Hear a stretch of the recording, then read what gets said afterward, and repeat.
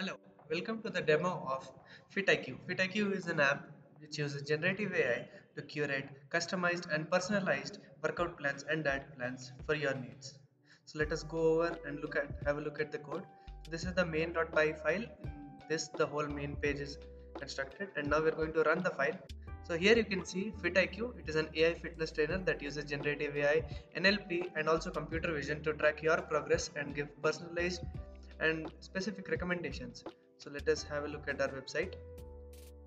This is entirely made in Flask and Python along with NLP and everything. So first the basic part is workout music. So you can have a look at any workout music through our website.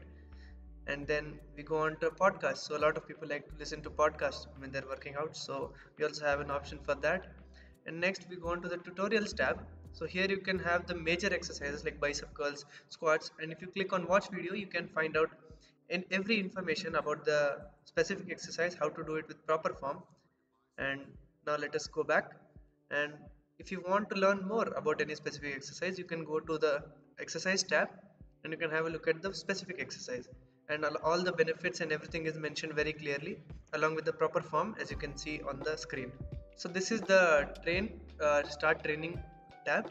Here we have used computer vision to track proper form and the reps will only be counted if the form is proper else the reps will not be counted. So that, deployment we'll see at the end of the presentation.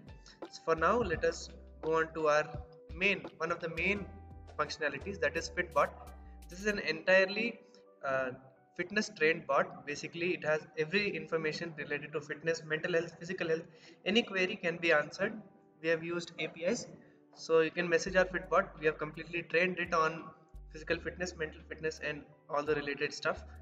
So let's say you want to ask any message to fitbot. For example hi. So the normal response is how can i assist you today? Let's say i want to lose 10 kg that is a bit more. How to lose 10 kg in 2 months for example. So i'm going to type how to lose 10 kg in 2 months and then it's supposed to give me a proper output. So the response which i have got is Hi there, if you're looking to lose 10 kg in 2 months, I can help you with that. The key to weight loss is a combination of regular exercise and a healthy diet. That is true. So it suggests car cardio exercises, strength training and also high intensity interval training. And now it is also asking me if if I would like a customized routine. So I can say yes please, I would like a uh, customized routine after having a look at the basic steps. So now if I type yes please, so then I should be getting a response. Okay, so it is asking if I have any injuries or any allergies or any preferences. So I'll write I'll just write no injuries and we'll see what we get. So I've, I've given no injuries. So it says great to hear that you don't have any injuries. So based on that again it suggests the same similar things. And now it, at the end of the thing it suggests it is important to stay hydrated and support your overall, overall fitness journey. So if any more help is required the fitbot is always available to help you okay so i've just said thanks to the fitbot and it says good luck with your fitness journey to lose 10 kg. You've got this. So we have also added a little more hum human type interactions and we have trained the bot so it helps a little more like human in human interaction. Next we have cal nutrition calorie tracker. In this you can add any number of dishes or number of meals. For example let's say i take two let's say i type in two to three meals. The first meal let's say i'm having chicken. So it will say how much chicken per serving and then the calories and total calories consumed. So this can be very helpful if you want to track and if you are on a calorie deficit which we'll be discussing further. If you're in a calorie deficit what to do? Yes. So i've selected bacon and eggs next. So it says 539 calories and per serving. So i've taken only one serving. That means 539 calories. Let us add one more food just to see how our graph comes. So yes. And now you can see on the screen there is a graph Uh, telling the total calories total calories is 1178 and the calorie breakdown. So instead of having textual output we thought we'll include some graphs so that it is more engaging. So as you can see we can let us have a closer look.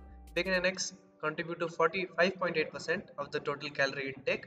Cottage pie is 44 and chicken breast is 9.85 so you can see chicken breast is low in calories but high in protein. So you can find out whatever the requirements is now we go on to our last or one of the last parts of our presentation that is Fit Genie. It is a fitness planner. It, this is basically part 2 of our main functionalities. So here we have Fit Genie. It, you just need to input your height your weight and your aim in your fitness journey so let me input my height 175 weight and then I'm going to choose let's say maintain fitness I want to stay fit so it will generate a personalized fitness plan which consists of two things one is workout plan so it suggests three days per week. Each workout should be 60 minutes long. And then it says everything 20 minutes of cardio 10 minutes of stretching day 1 day 2 day 3 and so on. You can have a look at all the suggested workout plan. It also suggests a main thing which is diet a key thing which everyone forgets. So it gives out the suggested ca calorie intake. If you want to maintain a calorie deficit it will give lesser calories if you're planning to lose weight for example. And then we also have sample meals one cup oatmeal one banana honey bre basic breakfast. Yeah so breakfast lunch dinner everything is pre-planned for you.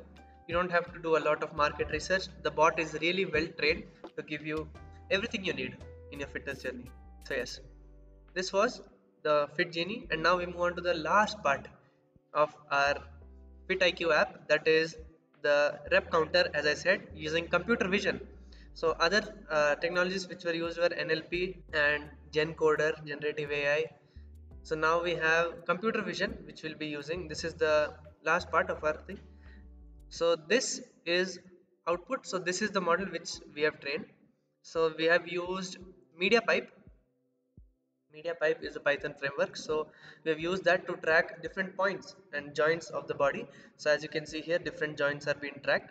And now if we run the program, the camera turns on and now you can see if the proper form is there, then only the rep will be counted. And we also have which activity we are detecting. So if the proper form is not there, so luckily I'm doing with proper form. So we can see the counter increasing 3, 4, yes and 5 the true false values just denote the basic change in relative change in the positions so every true false cycle means counter will go up by one so now we have we had a look at uh, the push up now we are having a look at the squat for example. So the proper form is being maintained by Nitish. So 2 and 3 so you can see the true false cycle continues and the counter is being increased. Okay so this was the basic FitIQ app which me uh, Abhinav Bhatt Nitish and Kirtan and which we have developed for the ANZ hackathon. So thank you for uh, watching. And this was our app. You can have a look at the GitHub link in the description and also the product demo. This is the product demo video. We've also attached our project report and all the technologies that we have used. So yes, thank you for watching and we'll see you next time.